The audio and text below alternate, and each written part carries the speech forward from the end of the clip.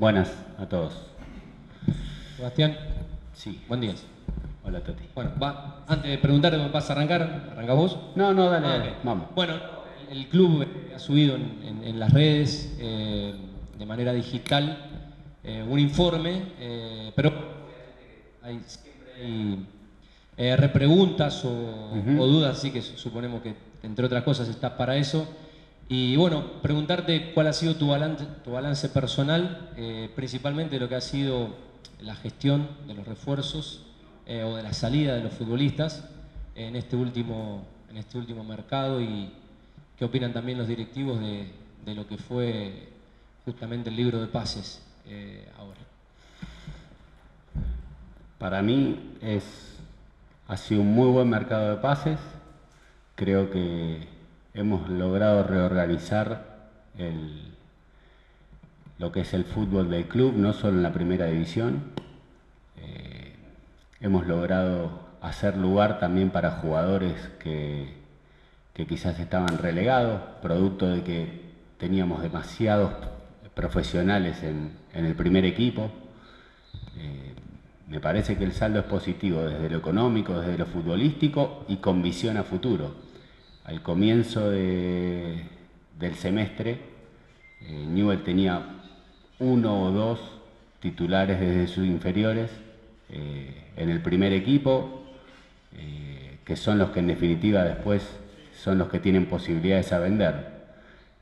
Hoy medio equipo es titular. Entonces eso no solamente ayuda a la institución, sino que creo que, que le da la posibilidad al club de tener ingresos a futuro, que es lo que lo, que lo, lo que lo moviliza como club. Sebastián, eh, ¿qué tal?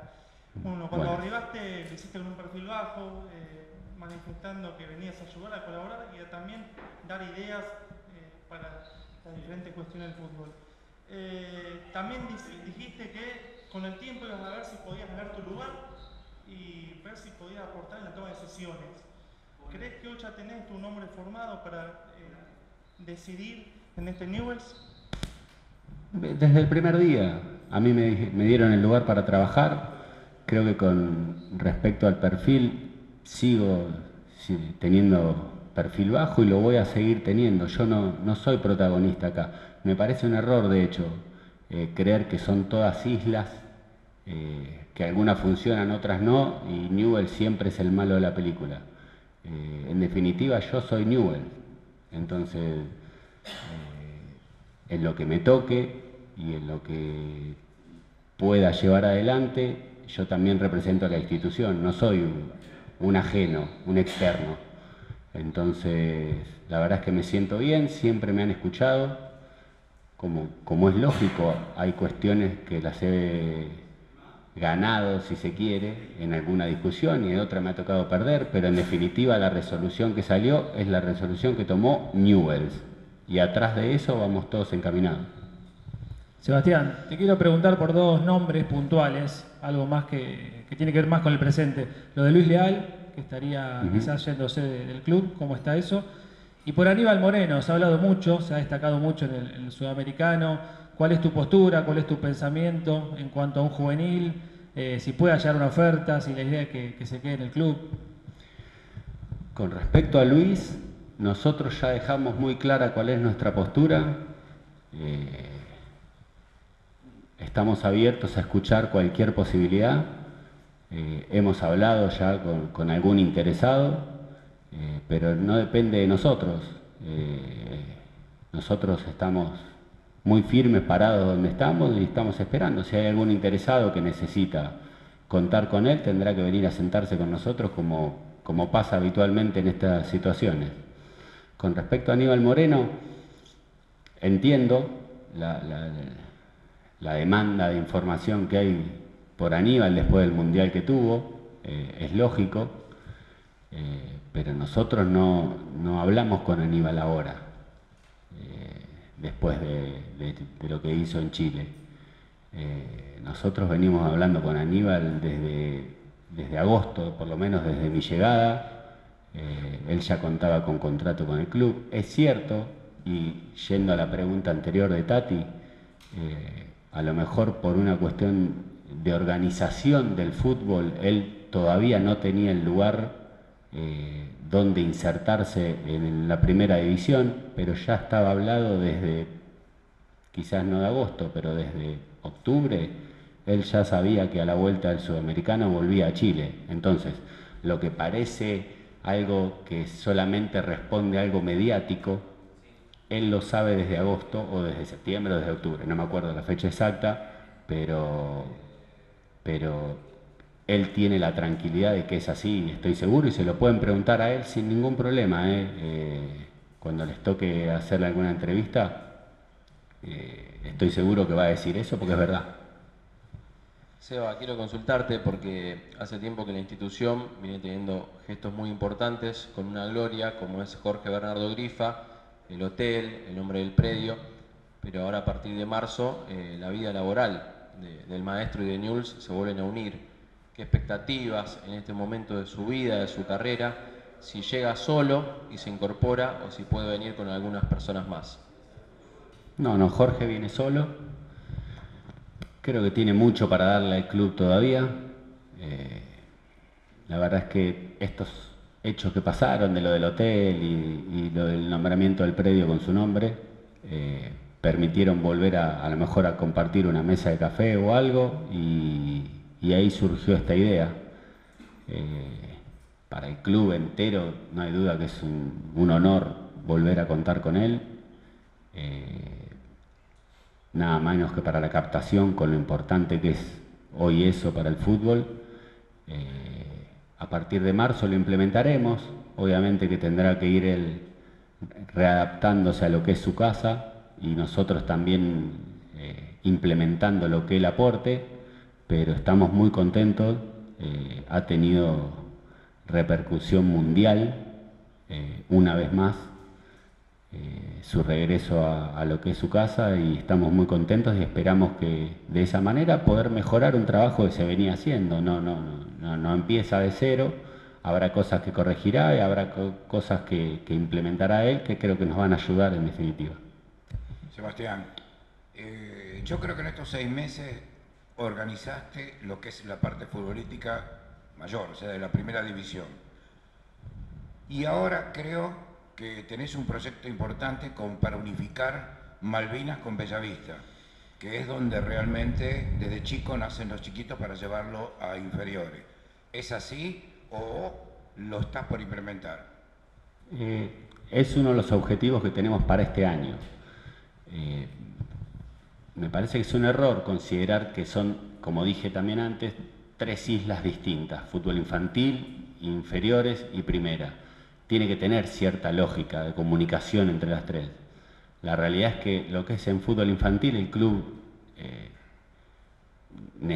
necesita un nuevo impulso, eh, ha cambiado mucho la sociedad desde que Malvinas era Malvinas y es Malvinas y nunca va a dejar de serlo, pero también tenemos que ayudarla y tratar de favorecer lo que es hoy la captación a esa edad.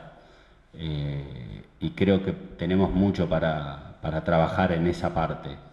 Eh, después sí, en mi llegada la realidad es que en este semestre, eh, en un área nueva que, se intentaba empezar a formar, nos quedamos sin coordinador de inferiores y sin técnico, en, creo que a los dos meses de haber llegado. Bueno, no fue fácil, pero el fútbol no lo es. Y, más que lamentarse por las situaciones que uno tiene que vivir, las tiene que superar.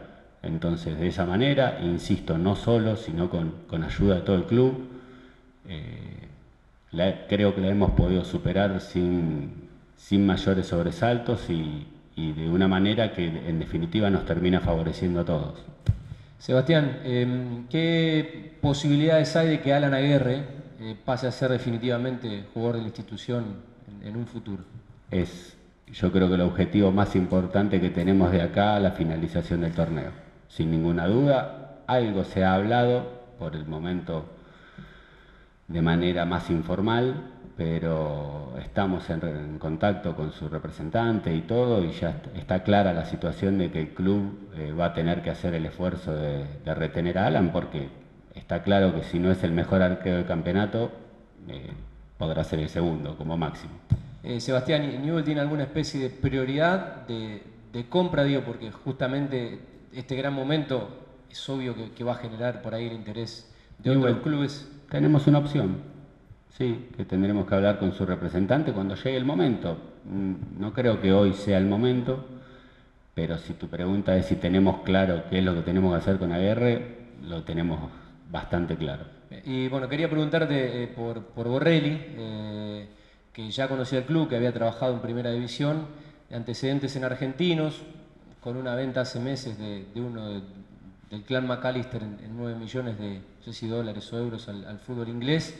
Y si, bueno, es la oportunidad inmejorable para, para que Newell vuelva a ser lo que fue en, algún tiempo o en algún momento, eh, ese semillero que en algún momento dejó de ser inagotable, para primero capitalizar valores como un Aníbal Moreno en cancha y, después, eh, obviamente, hacer transferencias millonarias como supo hacer. Sí, estoy muy contento con haber podido resolver esa parte. Creo que es un salto de calidad.